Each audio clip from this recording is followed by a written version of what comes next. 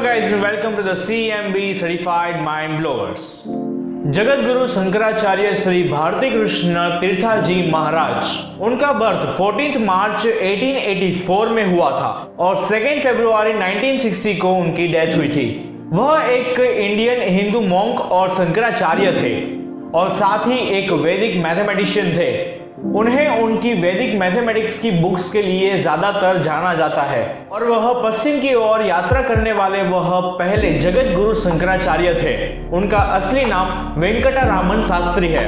अर्थ वेदा शास्त्र यह वैदिक मैथमेटिक्स का स्रोत है।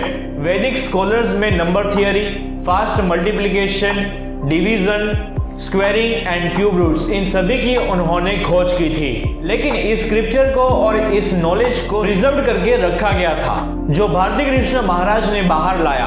भारती कृष्ण महाराज संस्कृत में स्कॉलर थे।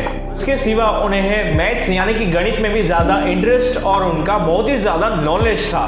वास्तव में उन्होंने वास्त मैथमेटिक्स नॉलेज को उन्होंने डिकोड किया है। इनफैक्ट उन्होंने ही 16 वॉल्यूम्स को लिखा था और उसे उन्होंने अपने एक स्टूडेंट के पास संभाल के रख दिया।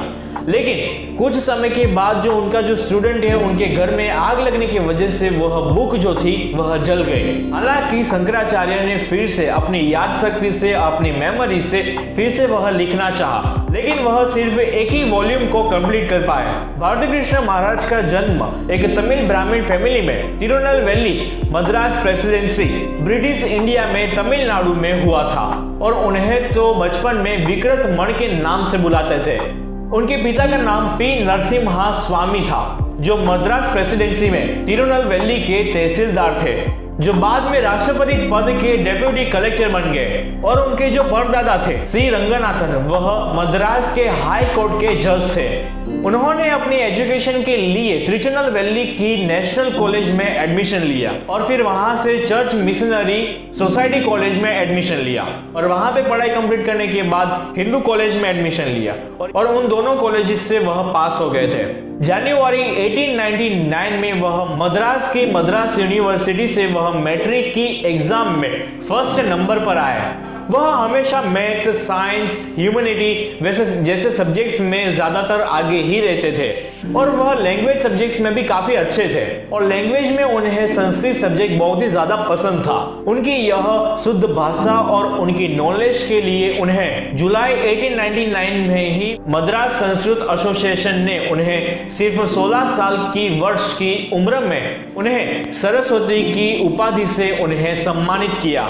जब वो कॉलेज में थे, तब वह हिस्ट्री सोशियोलॉजी फिलोसॉफी पॉलिटिक्स और लिटरेचर और इन सारे सब्जेक्ट्स के ऊपर भी उन्होंने विस्तार में लिखा था। वर्ष 1921 में उन्हें शंकराचार्य पद पर एनियंटेड किया गया और उसी वर्ष में उन्हें अखिल भारतीय कांग्रेस काउंसिल की एग्जीक्यूटिव के सदस्य के लिए उन्हें नॉमिनेटेड किया गया। और फिर उन्होंने राजधर्म और प्रजा धर्म के विषय के ऊपर थोड़ा सा भाषण दिया। लेकिन जिसे सरकार ने राजद्रोह के लिए भड़काने का आरोप लगाया और उन्हें गिरफ़्तार कर लिया गया और उन्हें कराची की जेल में ले जाया गया।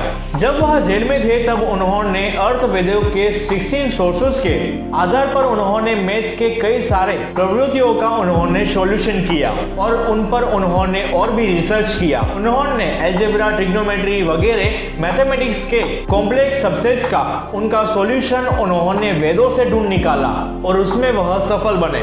जेल से रिहा होने के बाद उन्होंने कई सारी यूनिवर्सिटीज में जाकर उन्होंने मैथ्स पर लेक्चर्स दिए और फिर सिर्फ़ कुछ ही दिनों में उनके रिसर्च की देश विदेश में चर्चा होने लगी। फिर उनकी बुक्स वैदिक मैथमेटिक्स एंड मेंटल कैलकुलेशन के लिए स्ट्रेटेजिक चर्चा करते हुए उन्होंने 16 श्लोक की एक लिस्ट बनाई, जिसे आज काम शास्त्र कहते हैं, यानी कि एफोरिज्म्स तो ये थी थोड़ी सी short information father of a वैदिक मैथमेटिशियन भारती कृष्ण तीर्था जी महाराज के बारे में। तो अगर आपको यह वीडियो अच्छा लगा हो तो प्लीज़ आके लाइक कर दीजिए शेयर कर दीजिए, और अगर हमारे चैनल में पहली बार आए हो तो सब्सक्राइब करना ना भूलें, और बेल आइकन को भी दबा दीजिए, ताकि हमारे आगे की वीडियोस की नोटिफिकेशन आप लोग को मिलती रहे।